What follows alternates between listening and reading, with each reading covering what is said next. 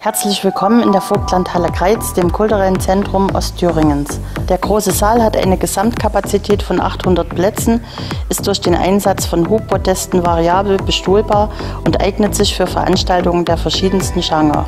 Mittels einer elektroakustischen Nachhallsimulation lässt sich der Raumklang von Studio bis Kathedrale simulieren.